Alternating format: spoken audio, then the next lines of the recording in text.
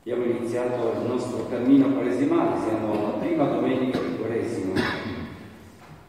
E la liturgia prevede come itinerario ben cinque domeniche, scandite con eh, l'ascolto di alcune pagine che dovrebbero aiutarci a rendere questo cammino un cammino che ci aiuta sempre di più a riscoprire quello che vi dicevo all'inizio della messa, la nostra condizione di figli, figli che eh, nonostante lo smarrimento e le, le deviazioni,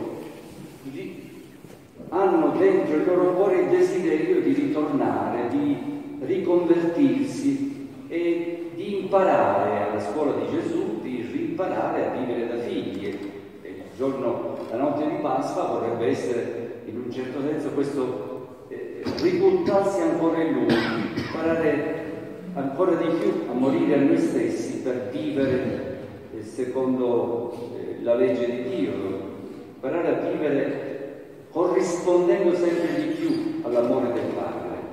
E mh, mm, queste cinque domeniche prevedono, eh, dicevo, una serie di pagine da ascoltare. La prima domenica è la pagina delle tentazioni, Gesù che viene tentato. La seconda domenica prevede invece la trasfigurazione del Signore.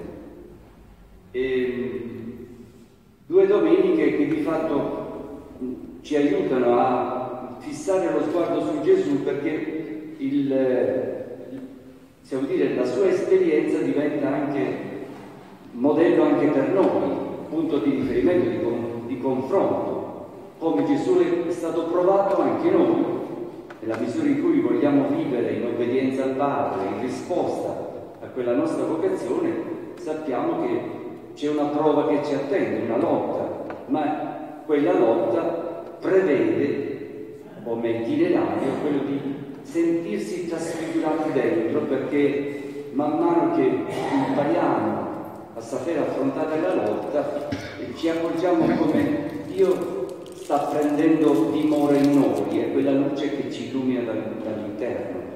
E poi la terza domenica ascolteremo la, la pagina della Samaritana, dove al centro c'è quel pozzo come fonte di acqua, un chiaro riferimento a Gesù. Lui è fonte di acqua viva per noi. Il, eh, quarta domenica ascolteremo la pagina del cieco nato, dove c'è questo cieco che viene guarito da Gesù, ritrova la vista. Anche lì un riferimento a Gesù come colui che ci dà luce, eh, colui che illumina la nostra, la nostra esistenza e ci permette di camminare non più nelle tenebre, ma adesso nella luce del Signore. l'ultima domenica, la quinta, ascolteremo la pagina de, di Lazzaro, Lazzaro quella, eh, quel, colui che viene amato dal Signore, così viene presentato. Lazzaro è colui che Gesù ama. E questo Lazzaro che va incontro alla morte è Gesù che si china su di lui, lo richiama alla vita. Anche lì chiaro, chiaro riferimento a Gesù come vita nostra, risurrezione nostra, che ci apre per noi la pienezza della vita. Ecco, questo è un po' l'itinerario che ci viene proposto in queste cinque domeniche che vogliono costituire un invito a crescere in questa consapevolezza di quello che noi siamo già diventati e che dobbiamo diventare, no? Quella figliolanza da vivere sempre più in maniera più intensa e più consapevole. E allora sostiamo nella, nella pagina di oggi, la pagina delle tentazioni. E credo che abbiate ascoltato la, la proclamazione delle letture e nella sua grande e sapiente pedagogia la liturgia ha accostato a questa pagina del Vangelo di Matteo quella della Genesi, il racconto di Adamo ed Eva. E questo, coloro che per la Bibbia sono all'inizio della storia umana, quella coppia che, che il Signore ha impastato, che, eh, a cui ha conferito il suo spirito, quel soffio, per cui eh, la realtà dell'uomo è una realtà un, un, po' particolare, parte questo fango impastato, ma dall'altra parte porta dentro, dentro, di sé questa povertà che lui è, un pezzo di creta, siamo un po' di argilla impastata. Eppure questa argilla, nella sua povertà, porta dentro di sé il, il respiro di Dio, il soffio di Dio, lo spirito di Dio. E come dire, siamo allo stesso tempo povera cosa, ma anche cosa divina. E la grandezza e la miseria dell'uomo insieme. Una, la pagina della Genesi ci diceva come questa, eh, questa, queste creature che escono dalle mani di Dio eh, sono invitate a saper gestire, a saper imparare a vivere in corrispondenza del dono che hanno ricevuto. Ricevere lo Spirito di Dio significa ricevere la sua vita, ricevere, eh, possiamo dire, il suo modo di guardare il, il mondo, le cose. E Dio ha un solo modo di guardare, è quello di amare le sue creature. Ama in modo profondo, eh, desidera che ogni, ogni creatura realizzi la sua vocazione, che niente è inutile, non c'è una cosa che per lui è inutile, ha un valore e deve corrispondere a quello che è il, il disegno che eh, gli ha consegnato. Nel, nel chiamarla la vita, di fatto gli consegna anche un progetto. E questa umanità che all'inizio della nostra storia viene, eh, in un certo senso, viene responsabilizzata è il Signore che dona questa coppia, questa coppia iniziale, dicendo ecco tutto è vostro, è nelle vostre mani, e imparate a custodire, imparate a gestirla e sappiamo come va a finire. Perché il peccato di Adamo ed Eva è un peccato di delitto. Noi siamo, noi siamo Dio. Noi, eh, come dire, il, eh, all'inizio e che poi ci portiamo dietro. Possiamo dire che di generazione in generazione noi eh, viviamo questo, ripetiamo con un'ossessione che, che, che, è da una parte eh, quasi in senso di, di, dire ma può essere che siamo così scemi che continuiamo a ripetere sempre le stesse cose, ma intanto è così, intanto è così, perché cade un impero e ce n'è un altro, cade quell'impero e poi ce n'è un altro. È sempre questa voglia di, di pensarsi come Dio. Il, il, faraone diceva di essere Dio, Cesare Augusto diceva di essere Dio. C'è sempre questo, questa grande illusione che noi siamo Dio e che e non abbiamo bisogno di riferirci ad altro, non abbiamo bisogno di ascoltare altre parole, siamo noi che gestiamo. E la conclusione del discorso era molto chiara. Il, quel giardino diventa un deserto.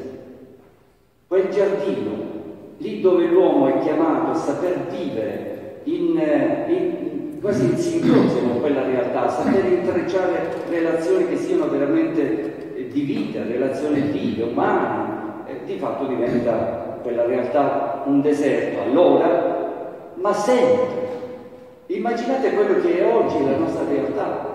C'è un deserto, ma il deserto è dentro di noi, perché man mano che il, gli avvenimenti si svolgono e noi ci accorgiamo che il nostro cuore si desertifica, ci inaliviamo eh, dalle paure, ripeto, paure, indifferenze e tutta una serie di cose che la pagina del Vangelo ci pone davanti Gesù, lo mette davanti è lui che eh, si presenta a noi come il figlio che vuole vivere in obbedienza alla volontà del Padre, il figlio che vuole realizzare in pieno la giustizia di Dio.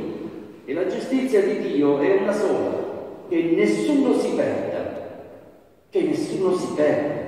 Dio vuole fare giustizia in questo senso, perché lì dove l'uomo sta, dove l'uomo butta fuori dicendo ma tu non, tu non sei degno di stare con noi, lui si china, lui è preoccupato, preoccupato non delle leggi, è preoccupato della, di ogni creatura umana e Gesù sente di dover vivere questa missione in quanto figlio. Deve manifestare, vuole manifestare questa paternità di Dio, questo padre che eh, non intende perdere nessuna creatura, nessuna creatura umana. Ognuno per lui, ognuno di noi per il Signore, per il Padre, è davvero un bene prezioso. Eh, la Bibbia ha una bella, il profeta Isaia dice di Gerusalemme che Dio porta la fotografia di Gerusalemme, con Gerusalemme significa tutti noi, se la porta sulla mano così se lo ricorda sempre, se per caso adesso qualche momento che magari si può confondere, e se la porta sempre come ricordo, dire ma queste sono le cose che mi interessano. Ecco Gesù si presenta così, nel, lo vuole vivere fino in fondo, ma questo, questo comporta una lotta, una lotta con una realtà, quella nostra, quella umana, che invece deraglia per un altro verso. E sono le parole delle famose tre tentazioni dove non mi fermo, ve lo affido a voi, vi rileggio la casa, dove c'è questa voce, questo diavolo, questo, che dice, dice a Gesù, e come gli parla dal di dentro, dice guarda ma tu vuoi manifestare veramente la paternità di Dio? Guarda che non c'è altro modo di manifestare la paternità di Dio se non, se non portando al massimo quello che poi sono le cose che stiamo facendo. E, è vero che il, la condizione dell'uomo è una condizione eh, dove la fame diventa un problema serio siamo alle prese con, con, quello che poi è il problema di ogni giorno, che cosa mangiamo e come si fa a vivere. E, e guarda, non c'è altro modo se non produrre e cercare di incrementare il mercato e cercare di, di, di ingrandire questo mercato. Gesù dice, ma non è questo il modo. Non è questo il modo. Il modo per rispondere alla fame degli uomini non è quello di, di aumentare una produzione smisurata di beni enormi, sempre di più, sempre eccessivi. E Gesù dice, ma guarda che questo non, non è il modo di risolvere la fame.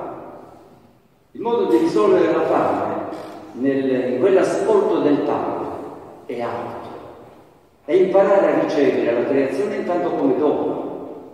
E nella misura in cui riceviamo il pane come dono, non c'è altro modo, altra logica, se non quella che poi ogni domenica noi continuiamo a far memoria. Gesù prese il pane, lo spezzò e lo donò. Spezzare, condividere. Questi sono i verbi di Dio. Questi sono i verbi del Padre, questo è il disegno, questo è il suo modo di concepire come saziare la fame degli uomini. Gli altri modi servono soltanto a creare l'illusione che ce la, ce la stiamo facendo e invece poi tutto si riduce in un deserto, un in una, eh, possiamo dire, inaridimento degli animi. Diventiamo sempre più duri, stiamo producendo cose enormi, ma la ricchezza si restringe nelle mani di pochi. È il dramma di questi tempi, di questi nostri giorni. Una produzione infinita e basta vedere quello che parte dalla Cina, vedere tutti questi containers enormi di qua e di là vanno per tutto il mondo. Eppure, eppure la fame non, non è risolta, eppure il, non, siamo più sereni. Ecco, la prima tentazione punta su questo e poi il, eh, Gesù che risponde a questa voce che potrebbe indurlo verso altri modi. L'ultima, per esempio, gli dice, vedi tutti questi regni? piglialo tu il potere, perché non c'è altro modo di realizzare il sogno di Dio e fare di questo mondo la, la sua casa, la sua famiglia, far, far, scendere Dio su questa terra non c'è altro modo se non quello di impossessarsi del potere e costringere tutti a credere che Dio è Lui e non ce ne sono altri. E, guardate, questa è una tentazione nella storia c'è stata. Il nostro Dio è quello, è vittorioso e gli altri debbono, gli altri debbono sottostare a noi perché se tu non credi nel mio Dio tu non hai diritto di vivere. E Gesù dice, ma questa non è la volontà del Padre. Questo non è il modo di come. Il, la volontà del Padre è quella non di prendere il potere e di costringere gli altri a poter adorare questo Dio. L'unico modo di, di, di realizzare la volontà del Padre è quello di servire poi Gesù lo dirà ai discepoli. Il figlio dell'uomo non è venuto per essere servito, ma per servire e dare la vita per lui. Questo è il segreto della vita. Questo è il segreto di come vanno affrontate le tentazioni. E un piccolo riferimento, scusate se no non sono io, uno dice, vabbè, queste sono cose in grandi, questo riguardano poi i grandi personaggi, chi sta al potere, ma non certamente noi. Sì, nel nostro piccolo guardate che ci riguarda, perché qui è in ballo la nostra libertà, la tentazione, la prova, non è per gli schiavi. Chi è schiavo, il, il padrone gli dice tu a fare questo e lui lo deve fare, non è che ha, ha la libertà di poter dire lo faccio, non lo faccio, lo devi fare, non c'è altro, viene costretto ma la prova è per coloro che sono liberi, per coloro che possono scegliere. Immaginate per noi che significa, per esempio, uno che ha, inizia, ha aperto un, un, un'attività commerciale un, e, e, viene magari gli amici che, che gli dicono tu vuoi davvero portare avanti questa tua attività 300 euro al mese li devi consegnare a noi che fare per noi? Dire di sì o no? E capita ad alcuni di noi che sono senza lavoro, ma comunque ci sono sempre i nostri amici che hanno la possibilità di darci un lavoro. E che facciamo? Io devo pur portare qualcosa a casa. Andrò a lavorare con una ditta mafiosa oppure dirò di no? Cosa fare? Guardate, queste sono le prove. Perché mettono in gioco la nostra dignità di cristiani, io mi posso schiavizzare, posso chinare la schiena, devo anch'io umiliarmi e allo stesso tempo poi legarmi perché oggi, eh, guardate, questi sono le, i luoghi e poi ognuno di noi nella sua casa, c'è tutti questi tra, piccoli drammi se volete, ma che sono grandi per noi. Sì o no? Devo dire di sì o devo dire di no? Ecco, Gesù ha saputo dire di no proprio per quell'ascolto, ma dice la parola di Dio così, così è scritto, questa è la volontà del Padre.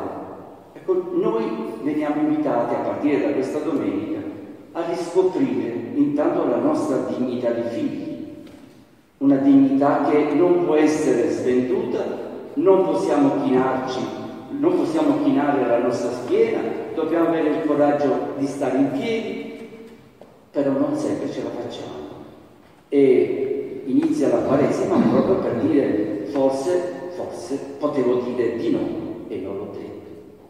E oggi dico Signore, perdono.